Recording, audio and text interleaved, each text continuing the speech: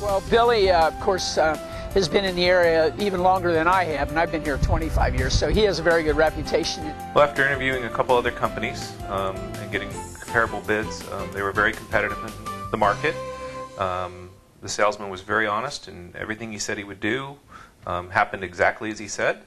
Um, the system went in without any hiccups and um, has worked flawlessly since it's been installed. It's been wonderful. They did an excellent job of install from start to finish. We're very, they communicated well what we needed to do and, and uh, how, what they were going to do.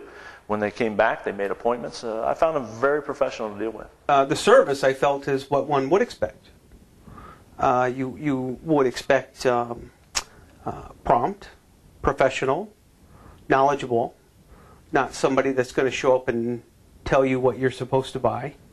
Rather, they'll discuss with you options, uh, lay out the best possible choices for you, and let you make the decision. I felt very comfortable working with him because I know him, his reputation is excellent, and the uh, and I knew that the quality of the workmanship and everything and the way that it was going to be done was the right way. But how many times will the owner of a company come to a customer's house and say, what do we have to do to have a satisfied customer?